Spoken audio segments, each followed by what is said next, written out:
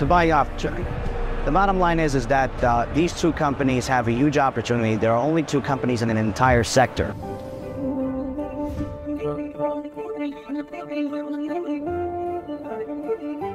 My story doesn't start with religion. My story doesn't start with the truth. My story starts with Alma de Shikra, the world of lies. God gave, God took, may his name be blessed.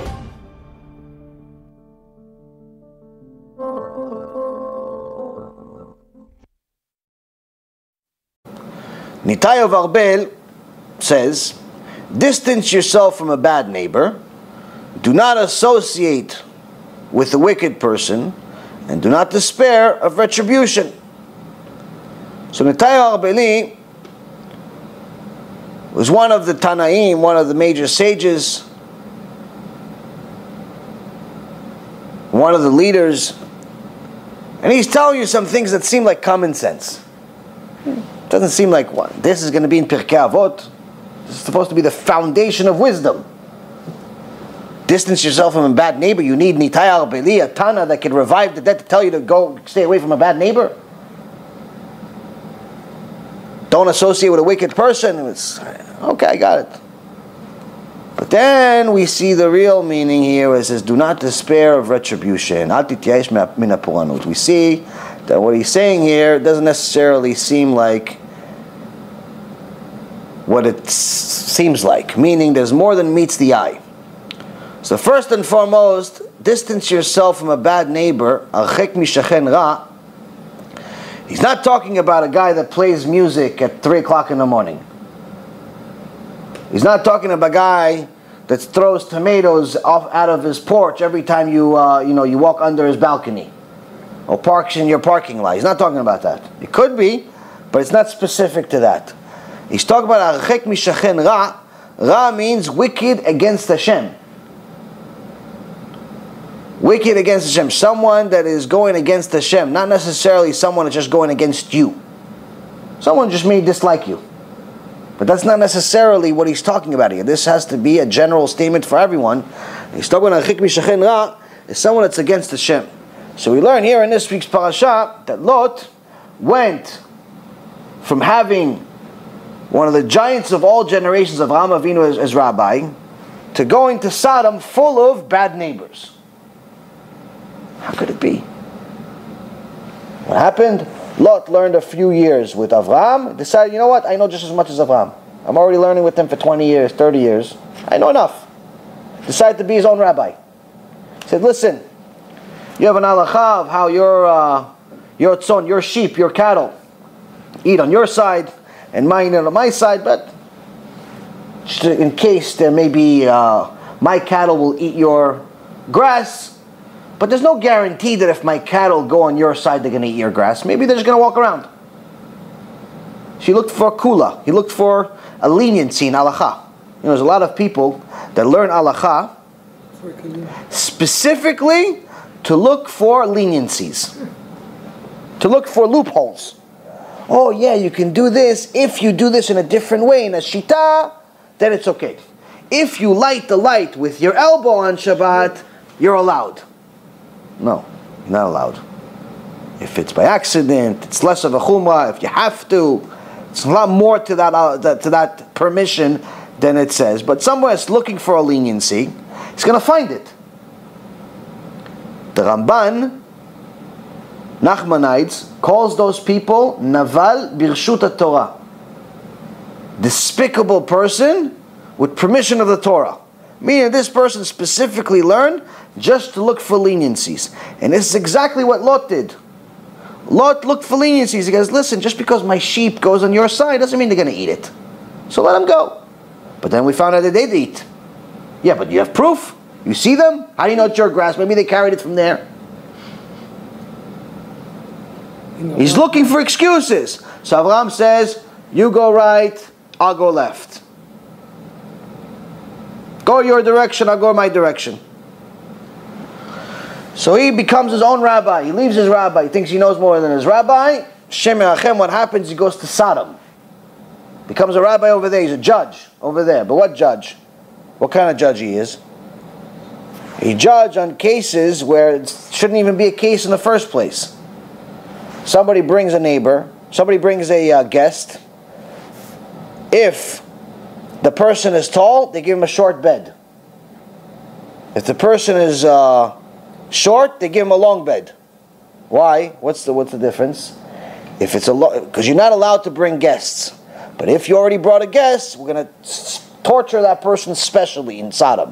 What are they going to do? If he's tall, now that we're going to give him a short bed, if he had the audacity to come visit us and ask for, for tzedakah, ask for anything, we're going to give him a short bed. And whatever body part sticks off the bed, we're going to cut. Now, what about if he's short? You give him an extra bed, it's extra comfortable, no? No, no, no. We're going to stretch him out to reach both sides, which means they're going to kill him. And Lot himself thought that this was a good idea to go and be a judge over there. He goes, no, no, I'll make new rules, I'll make new things. What ends up happening? His daughter brings a guest, and they say, oh, not brings a guest, she gives tzedakah. She gives tzedakah to a homeless person, one of his daughters. So what do they do? So, oh, you're not allowed to give tzedakah. Not allowed to give tzedakah. So what do they do? They take a bunch of honey, and they put it all over our body, and they release the bees. And the bees kill her from all the stinging. And that's why there's a one of the verses says Vaitzak. There's a scream. A scream in Sodom. Who's the scream from? Lot's daughter. He thought that he could be a rabbi over there. Because his rabbi wasn't good enough for him anymore. You understand? So Nitai Arbeliyah says, mishachen ra. Distance yourself from these bad neighbors. Distance yourself from these bad neighbors for yourself, for your own good. The Rambam in Ilchot Deot, chapter 6, 1, says there's an, there's an obligation. Says an obligation for, for a person to move if his neighborhood, if his community is full of reshaim, is full of wicked people, full of you know uh, people that are going against the Torah, not interested in tshuva, not interested in anything relevant to the Torah, you're obligated to move. You're not allowed to live there. So then the next she'elah is, the next question is, okay, what if there's, every place is like that. I live in, uh, I live in uh, Sodom and Gomorrah. I go to Smith Street, it's Sodom and Gomorrah. I go to Park Street, it's Sodom and Gomorrah. It's everything is Sodom and Gomorrah. What happens? I'm in Manhattan. What do I do? Rambam says, move to the desert. Your neighbor should be the scorpion and the snake. This is alacha. This is not like a uh, uh, some uh, weird uh, midrash that no one's ever heard of that I found myself. It's alacha. He says, move to the desert. Scorpion and the snake are better neighbors than Rasha. Because at least if they kill you, they kill your only your body. Whereas the Rasha is going to kill your soul forever, Shem Rachem. It's halacha. So now you have to understand the significance of getting away from this. This is why also it says archek mishachen ra velo itrachek. Archek means remove yourself from the bad neighbor. Technically, it should say itrachek, which means distance yourself. Go live somewhere else. Oh, chek means you can't even be friends with them. You have a shopper, you have a person that's an atheist, no interest in tshuva, no interest in nothing, goes against the Torah openly, has no, uh, mocks the Torah, makes fun of things. Oh, look at this rabbi, look what he said, ha ha ha, like one of these idiots on YouTube, has a YouTube channel with the 300,000 followers making fun of the Torah. Making fun of this. His whole life is just making fun of the Torah. his whole life. They're going to use all the all the content that he used as nice introduction to his Gehenom. When he gets there and he finds out that it's true, the Torah is real. But you have, so unfortunately, you have many people like that in our generation. A lot of people make fun of the Torah. Not necessarily everybody has a YouTube channel, but there's many people that are putting yourself as a, in such such a bad way where they become machtia rabim, they become they cause other people to sin. And this is the essence of a shachen ra. A shachen ra is not just someone that is just bad by himself and he's just like sitting in his home, he just smokes on Shabbat by himself. Shachen ra, he's talking about this one, this person is a rasha. This person makes other people sin. He brings everybody else to have a hookah party on Shabbat afternoon. Is the person that invites everybody to the strip club. This is the person that has the Super Bowl party on the same day that there is a Shiur Torah. Knowing that all of those people are going to miss the Shiur Torah, but now who cares? Put God on hold. Go tomorrow. Go next week. This is Machtia Rabim. And these people are mamash miskenim. And Rambam says, and it says, you're not allowed to be friends with them. You have to do exactly what it said in last week's parasha. Lech lecha, move, cut yourself off. Cut yourself off. You cannot, you cannot stay connected to these people. And that's why it says, Al titchaber larasha. Do not associate it with the wicked person. Now obviously, titchaber means connect to him. Now if you're in a business of doing kiruv, this makes it very, very difficult.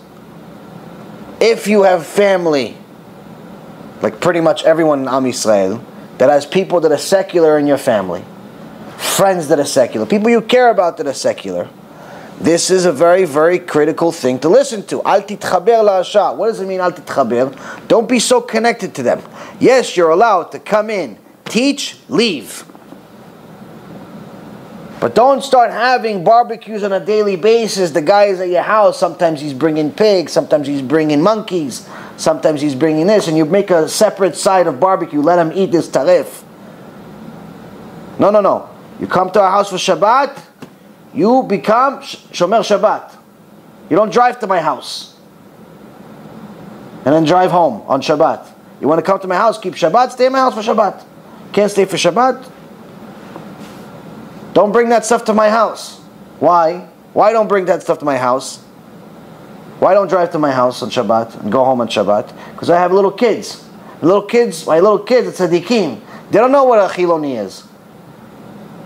They don't know what a secular person is. They see somebody driving on Shabbat that I'm honoring and saying, ah, look, this is my friend Zvika, this is Shmuli, and this is Danny. They all came to celebrate Shabbat with us, and after we talk and we schmooze and we talk about Avraham Avinu and Moshe Rabbeinu and all these wonderful things, and everybody smiles and everybody eats and everybody celebrates. Okay, good night, everybody, and they go, and the little kids see him from the window, tick, tick, tick, tick, tick, turn the car, and they drive. Abba, what happened to Avraham Avinu, Moshe Rabbeinu? They said, don't drive on Shabbat. Why is uh, Danny and Shmuley and Tzvika driving? What are you going to say to them? No, they don't know? What are you going to tell them? The kid's not going to understand they don't know. You just talked about Moshe Rabbeinu. It seemed like they knew fine. So you can't connect to them to such an extent that you let them sin inside your house. Listen, I understand it's difficult. Some even say, listen, if you're going to invite them the first time and they drive the next time, don't let them. Personally, I don't think you should let them sin at all, ever. Because if it's okay once, why is it not okay twice? If it's okay for him to drive on Shabbat for one year, why is it not okay for him to drive for two years? And then three years, and four years, and five years, and ten years?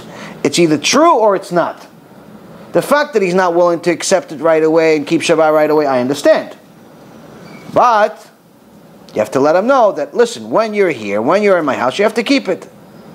Just like if you go to a house where it's part of the etiquette of the house to take off your shoes when you come in, what do you do? You take off your shoes. If it's part of the etiquette of the house to take off your hat when you come in, what do you do? You take off your hat. You do what is the custom in the place that you go. It's no different than anything else. You want to go to the house for Shabbat, go to the house for Shabbat.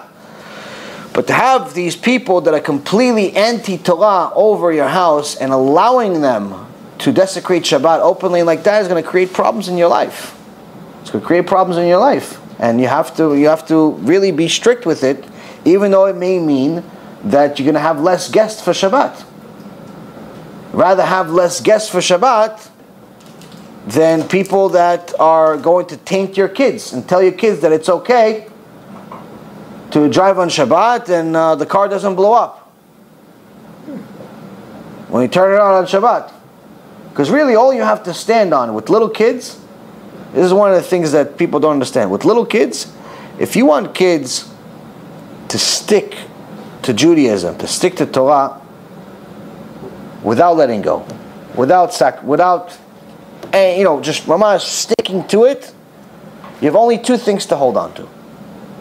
One, reward them, give them reward. Kid wore a kippah the whole week, give him a candy.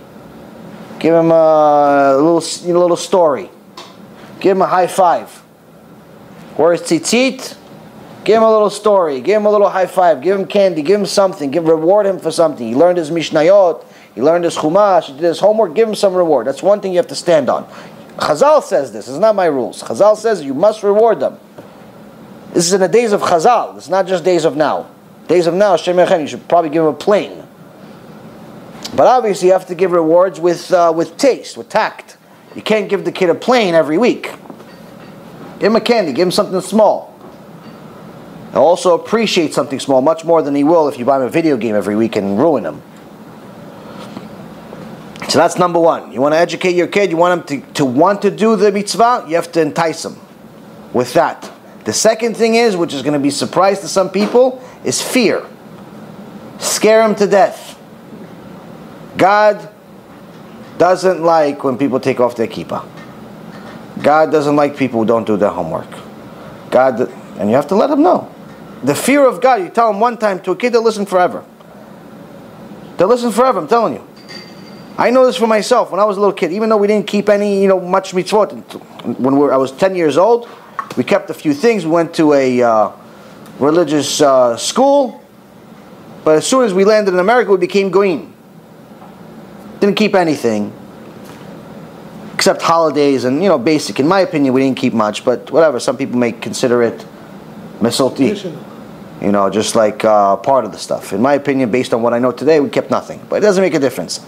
The point is, is that we came in, we keep some holidays, kosher whenever it's convenient.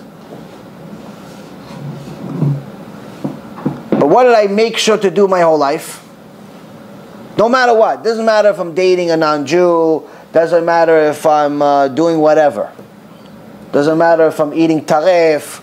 Doesn't matter anything. What am I doing my whole life? There's two things I did my whole life. One, every time I have a piece of paper, always put Bezrat Hashem on top right. Top right corner of the, of the paper. Anytime I write anything on a piece of paper, always had Bezrat Hashem. The, the bet and the hay. And second thing is, Sheshma Yisrael before I go to sleep. Why? Because my mom told me this is what God wants. When I was a little kid, said, listen, or my teacher told me about Bezrat Hashem, and my mom told me about Shema Yisrael. It's good to say before you go to sleep. God wants it. God is almighty. God is great. God is everything. Nobody told me God uh, punishes people who don't keep Shabbat. People told me God wants you to say Shema Yisrael before you go to sleep. God wants you to put His name on a piece of paper. Okay, so that's what I did. You tell little kids, this is what God said. You put the fear of God in them, they'll do it. And that's the only thing you have to hold on to until they have enough Torah knowledge that they learn in school, Bezrat Hashem, and at home, that it's become part of them and they want to do it. But before you get to Ahava, before you get to love of Hashem and desire to do His will, you have to have Yirah. You have to have fear. There's no Ahava without Yirah. So this is also another reason why it's very, very dangerous to have Reshaim in your life. If you have a community full of Reshaim, full of people that are wicked, full of people that are against the Torah, they could ruin your kids. This is also why you unfortunately hear sometimes that uh, rabbis that you know move to new communities that are full of secular people, trying to help them do tshuva. And sometimes their own kids, the rabbi's kids, get tainted, get hurt because of this. The kid goes off the derech. Because the rabbi can't be with his kids all day. You know, has the community, he has to learn, he has this, he has a lot of things to do. So his own kid's going to grow up. He's going to play, who's going to play with? He's going to play with the secular kids. He sees them smoking, he wants to smoke. He says that he sees them drinking, he wants to drink. He sees this. He, So that's what happens. So you, so it's it's a very very big problem. It's a very very big problem, and uh, it's very dangerous to be in a place like that. It's better to not go. Uh, in, in, most cases, but it's also Mesirut Nefesh. The rabbi, Bezrat Hashem, will have enough siyat lishmai that his kids do tshuva. But nonetheless, the point is that the uh, Mishnah here is telling you that when you are next to, connected to Reshaim, you are going to be infected by it. You're going to be infected by it. I've heard enough. New arrival screams echoing through the hallway to know that this ain't good. Once they pass them through the infierno, they don't come back. It's enough to make you go crazy. Do not think we fear you, Spirit.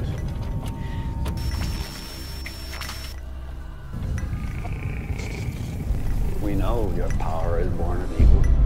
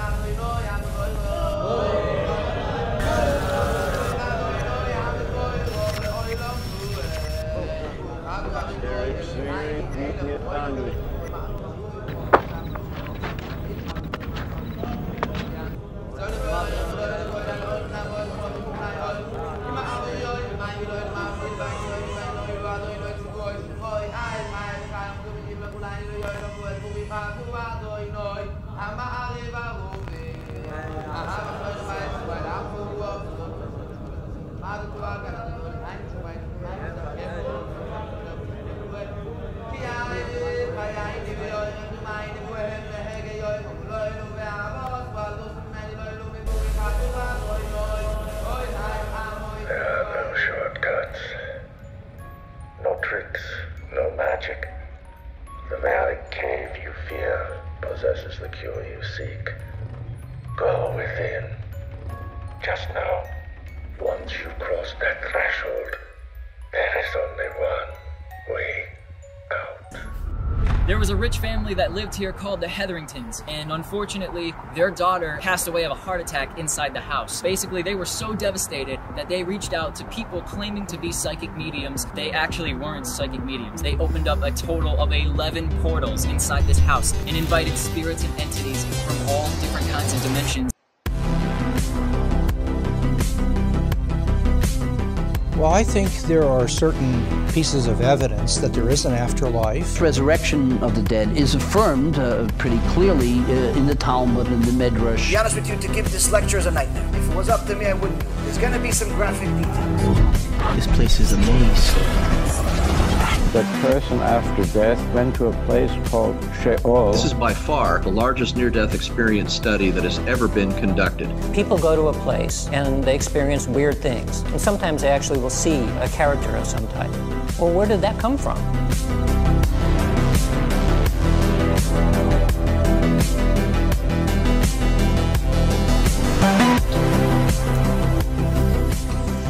I don't know why that one chain is swinging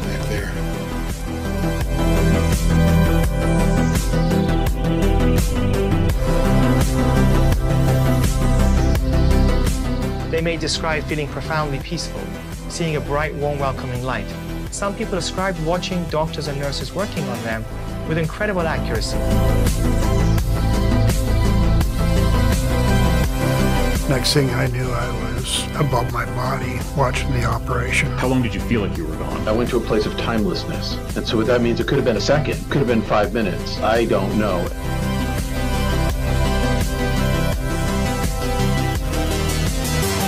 Can you imagine waking up from your sleep and not being able to move? As I'm lying there, I realized that there's a, an evil presence next to me. Do you believe that angels, demons exist? Holy dude, get out of here! Oh my god, dude! Strange things keep happening, bizarre nightmares, as if I'm on fire. Whoa, what the hell is this? Man, I've got bad chest pain. Satan's Hollow is what it's called, the portal to hell. Some people calling it an eye of fire, while others said it looked like the portal to hell opening up. And the next thing I know, I was outside of my body looking at my body.